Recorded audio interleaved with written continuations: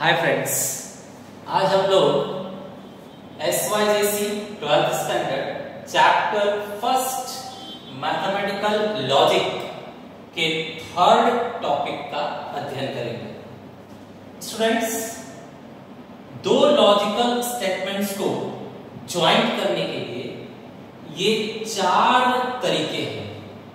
इन चारों तरीकों के अलग अलग नाम दिए गए हैं। अगर दो सेंटेंस को एंड से ज्वाइंट कर रहे हो तो हम कहते हैं कंजंक्शन और दो लॉजिकल स्टेटमेंट्स को अगर और से ज्वाइंट कर रहे हो तो उसे हम कहते हैं disjunction if two logical statements we are jointing with help of if then then it is called conditional और implication statement. And if two logical statements we are jointing with help of the word if and only if then it is called biconditional that is double implication students इन चारों jointers को clear cut समझने के लिए हम कुछ truth table देखते हैं ट्रुथ टेबल को बनाने के लिए कुछ रूल हैं, वो रूल फॉलो करना है। लेकिन स्टूडेंट्स रूल समझ लेते हैं फॉलो कर लेते हैं, लेकिन लास्ट तक याद नहीं रख पाते। इजी है, फिर भी कंफ्यूज हो जाते हैं, भूल जाते हैं। तो पहले मैं मैथमेटिकल रूल से ट्रुथ टेबल बनाकर दिखाऊँगा। उसके बाद लॉन्ग टाइम अगर याद रखना है तो एक स्टोरी एक स्लोगन टाइप याद रखेंगे तो लंबे समय तक याद रहेगा कि ट्रुथ वैल्यूज़ कैसे आते हैं। तो दो बार हम इस ट्रुथ टेबल को बनाएँगे। एक बार मैथमेटिकल रूल फॉलो करके और एक बार स्लोगन्स यूज़ करके। देखिए, आप लोगों को कौन सा पसंद आता है? तो लेट्स स्टार्ट एंड तो रूल के हिसाब से होता है एंड के लिए एंड के लिए रूल है, अगर दोनों ट्रू है तो ट्रू अगर एक भी फॉल्स दिख गया तो फॉल्स देखिए रूल सिंपल है दोनों स्टेटमेंट दोनों लॉजिकल स्टेटमेंट ट्रू है तो ही एंड द्वारा ज्वाइन करने पर फाइनल आंसर ट्रू होगा एक भी अगर फॉल्स आ जाता है तो फाइनल आंसर क्या होगा फॉल्स ठीक है अच्छा अब इसी चीज़ को मैं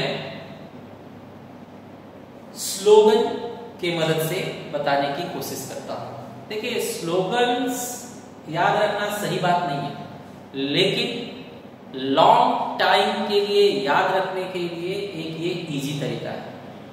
तो देखिए, आपको पसंद आता है या नहीं? आपको करना क्या है? पी मीन्स पंडित समझिए।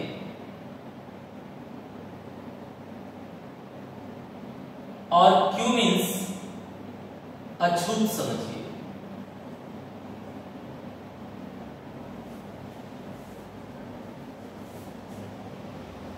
एंड मतलब गले मिलना समझिए। गले मिलना।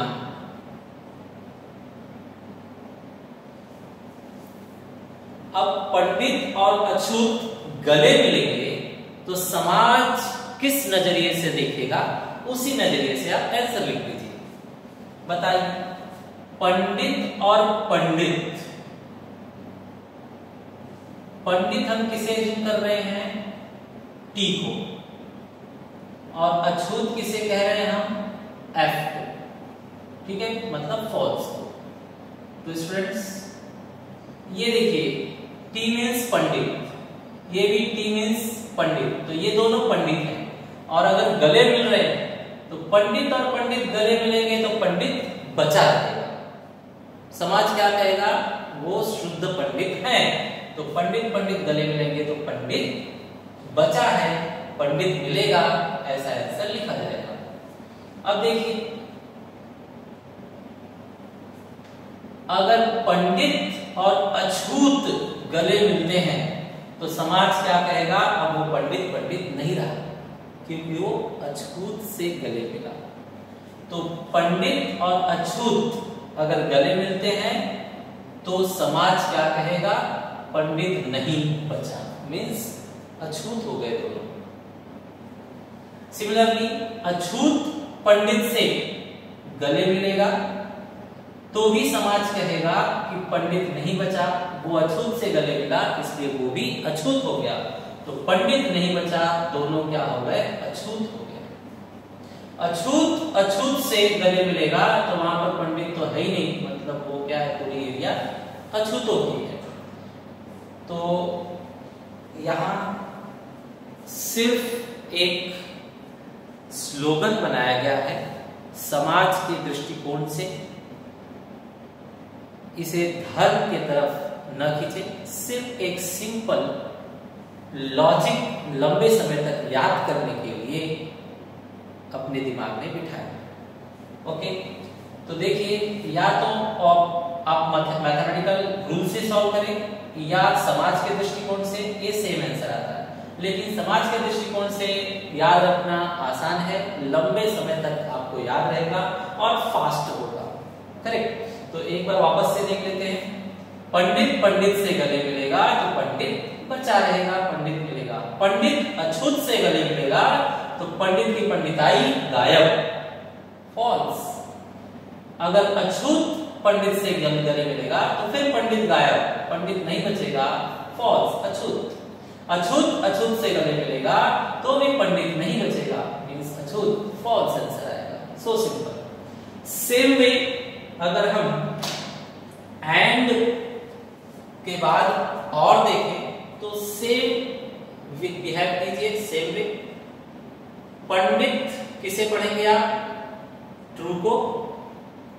और अछूत किसे पढ़ेंगे आप? फॉल्स को. अब देखिए, और मतलब क्या होता है? दीवार. दीवार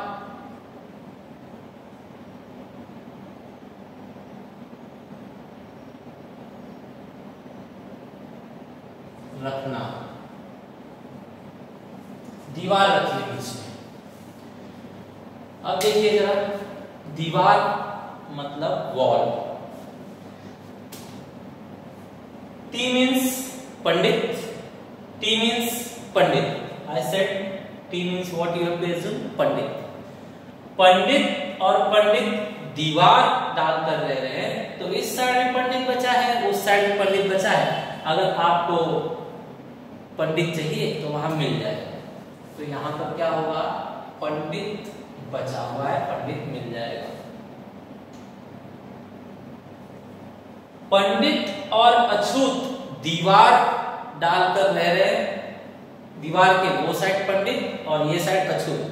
तो पंडित बचा रहेगा, सेफ़ रहेगा। अगर आपको पंडित चाहिए तो पंडित मिल जाएगा। अछूत और पंडित दीवार डाल के रह रहे हैं। उस साइड अछूत और इस साइड पंडित। अगर पंडित आपको चाहिए तो पंडित बचा हुआ है, वो आपको मिल जाएगा। अछूत और अछूत पार्टीशन डाल के रख रहे हैं तो पंडित आपको नहीं मिलेगा। ना उस तरफ़ पंडित है, ना इस तरफ़ पंडित है। तो पंडित नहीं मिलेगा, पंडित नहीं मतलब अछूत। अछूत मिलेगा। Answer false correct mathematical rule से भी आप लोगों को पता है।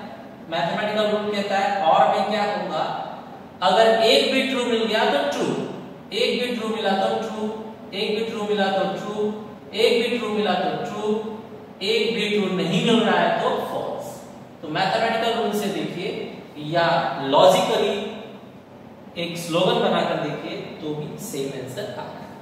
Okay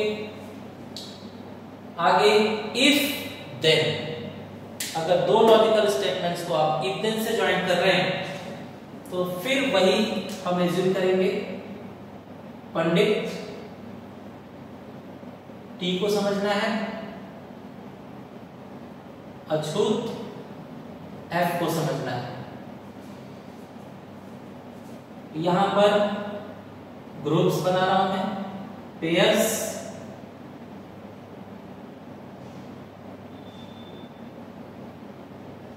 true true false false true false true false अब इस एरो को आपने कहा देखा है?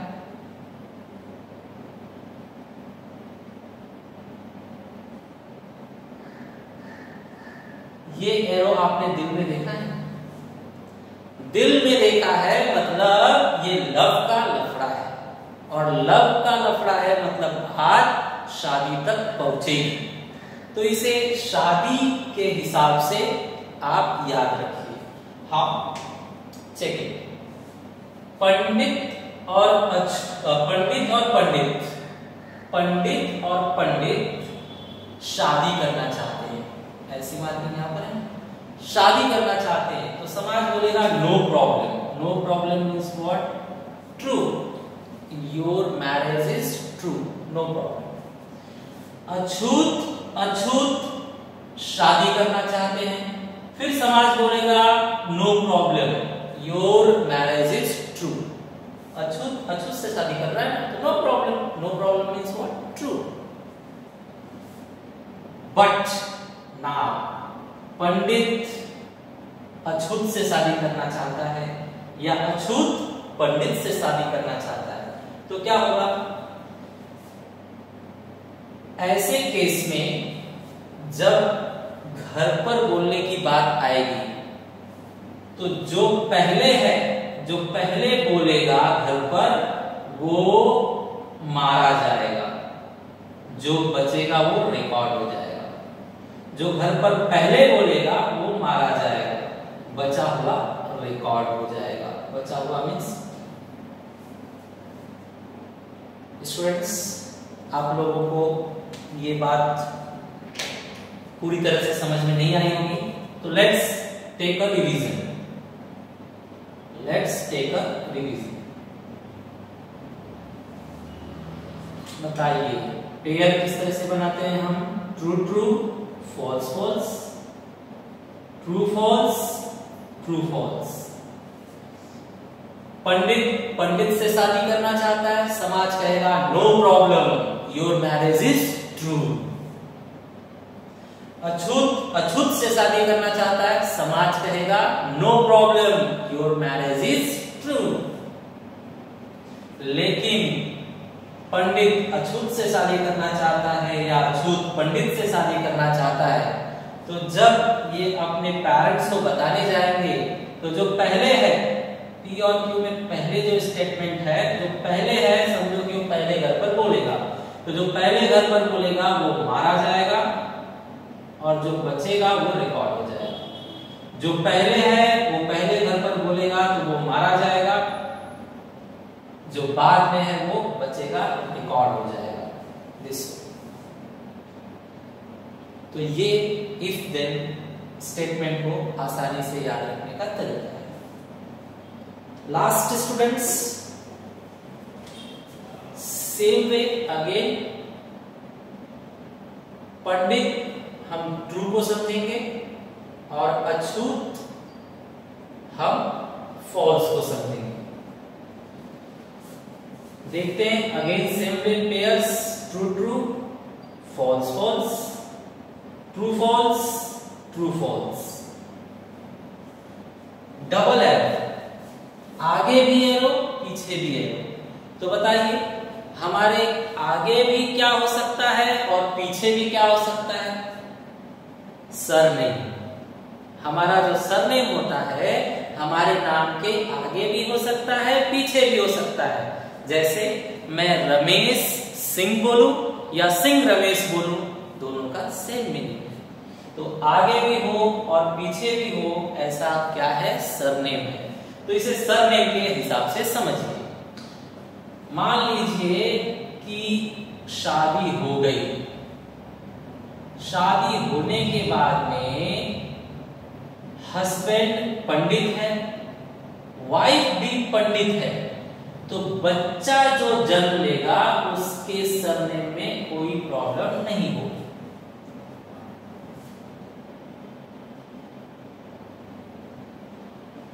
हस्बैंड अछूत है वाइफ भी अछूत है तो जो बच्चा जन्म लेगा उसके सरनेम में भी कोई प्रॉब्लम नहीं होगी। उसका सरनेम भी रखने में कोई प्रॉब्लम नहीं होगी। लेकिन अगर हस्बैंड पंडित है और वाइफ अछूत है तो बच्चे के सरनेम में प्रॉब्लम होगी। अगर हस्बैंड अछूत है वाइफ पंडित है तो भी बच्चे के सरनेम में प्रॉब्लम होगी। मतलब तो मोर यहाँ पर इस तरह से ध्यान रखिए कि ये हस्बैंड ये वाइफ है, दोनों की शादी हो जाएगी तो जो बच्चा जन्म लेगा, उसके सरनेम में प्रॉब्लम होगी या नहीं? नो प्रॉब्लम मीन्स ट्रू और प्रॉब्लम मीन्स फॉल्स तो बोलो हस्बैंड वाइफ दोनों पंडित हैं तो बच्चे के सरनेम में कोई प्रॉब्लम नहीं होगी ट्रू हस्बैंड और वाइफ दोनों अछूत हैं तो बच्चे के सरनेम में कोई प्रॉब्लम नहीं होगी ट्रू लेकिन एक पंडित है, एक अछूत है, या फिर एक अछूत है, एक पंडित है तो इनके बच्चे के सरनेम में प्रॉब्लम होगी, सरनेम रखने में प्रॉब्लम होगी। वो किसी को भी अपना जात बताते टाइम कंफ्यूज होगा, इस तरह से आप मानिए ओके तो यहाँ पर जो हम लोगों ने लिया है, बच्चे के सरनेम से लिया है। बच्चे का सरनेम। ओके बच्चे का सरनेम ओके स्टूडेंट्स तो मैं चाहूँगा फटाफट एक बार सभी स्टेटमेंट्स का एक बार वापस से रिवीजन ले लिया जाए। तो लेट्स डू दैट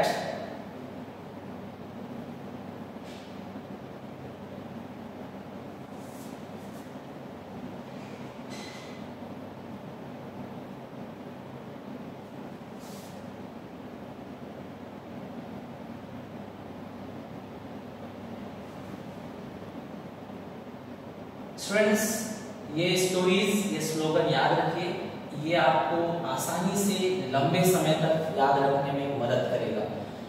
बाकी लोग कंफ्यूज होकर काम करेंगे, लेकिन आपको कोई कंफ्यूजन नहीं होगा फास्ट आपका आंसर आएगा। Okay let's start once more okay here the pairs true true false false true false true false student बताइए, गले मिलना है। पंडित पंडित से गले मिलेगा, पंडित बचा रहेगा। पंडित अछूत से गले मिलेगा, पंडित गायब। अछूत। अछूत पंडित से गले मिलेगा, फिर भी पंडित नहीं बचा, गायब। अछूत अछूत से गले मिलेगा तो वहाँ भी पंडित नहीं है, अछूत ही मिलेगा। Okay? Next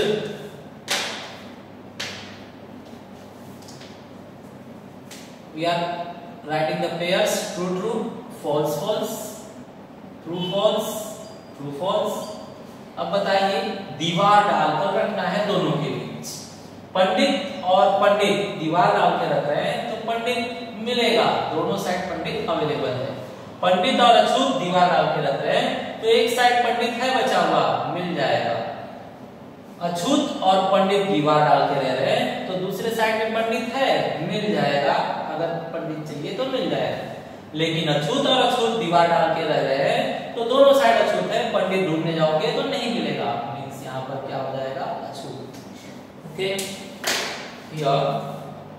true true false false true false true false now you people try to answer love का लफड़ा मीन्स शादी करना है।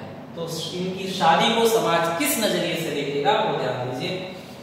पंडित और पंडित शादी कर रहे हैं no problem your marriage is true अछूत और अछूत शादी कर रहे हैं no problem your marriage is true but pandit अछूत से या अछूत पंडित से शादी कर रहा है तो जो पहले घर पर बोला जाएगा, वो मारा जाएगा, बाद का रिकॉर्ड हो जाएगा। जो पहले घर पर बोलेगा, वो मारा जाएगा, बाद वाला रिकॉर्ड हो जाएगा। पहले स्टेटमेंट को ही समझो कि उसने पहले घर पर बोला। तो पहले बोलने वाला मारा जाएगा, बाद में जो है वो रिकॉर्ड होगा बच जाएगा वो रिकॉर्ड होगा ठीक है? Last one true true false false true false true false इसे समझिए, बच्चे ने जन्म लिया तो उसके सरनेम में प्रॉब्लम होगी या नहीं होगी? बस वेरी इजी पंडित पंडित है हस्बैंड वाइफ सरनेम में नो प्रॉब्लम अछूत अछूत है हस्बैंड वाइफ सरनेम में नो प्रॉब्लम लेकिन एक पंडित है, एक अछूत है, सरनेम में प्रॉब्लम एक अछूत है, एक पंडित है, सरनेम में problem okay this was very easy trick to remember truth value up to a long period. Okay? Thank you. इसके बाद हम लोग अगले लेक्चर में बड़े बड़े ट्रूथ टेबल इन्हीं के मदद से बनाना सीखेंगे थैंक यू